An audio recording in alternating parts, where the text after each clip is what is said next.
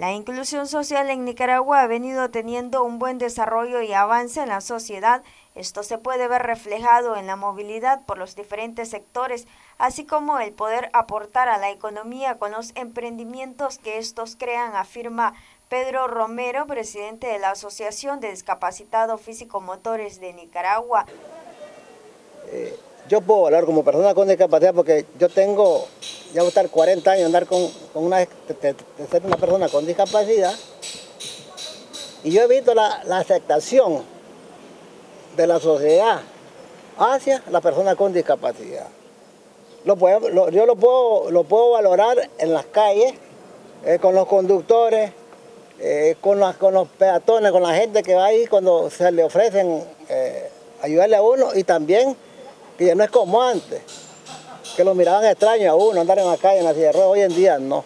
Hay miles, miles de personas con discapacidad, varones y, compañeras mujeres que hoy en día tienen sus pequeños negocios gracias al emprendimiento, ¿no? gracias a ese, apoyo que el gobierno le da hacia la gente. Y nosotros miramos no solamente a las personas con discapacidad, sino que a, toda la gente pobre, nuestro gobierno ¿no? le está dando la facilidad de poder trabajar con sus negocios propios. Yo creo que e, eso es importante y eso valoramos nosotros, tanto, tanto, la, tanto la población como nosotros las personas con discapacidad. Romero también dio a conocer algunos padecimientos que enfrentan las personas con discapacidad de físico-motores con el uso de sillas de ruedas. Un usuario de ruedas que queda con una lesión medular es propenso que se le formen llagas. Nosotros los usuarios de ruedas somos propensos a vivir con el problema renal, ¿no?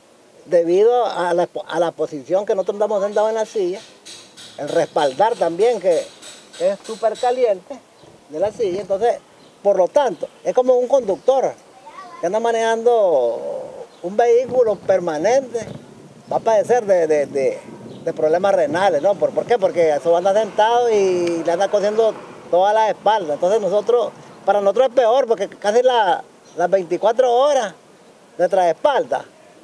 En el día pasan en la silla de ruedas y en la noche en la cama. Entonces nosotros estamos propensos al problema renal y a la llaga, si no lo cuidamos. Pero a veces nosotros, los lesionados medulares, eh, desarrollan llagas porque no se cuidan. Noticias 12, Darlene Telles.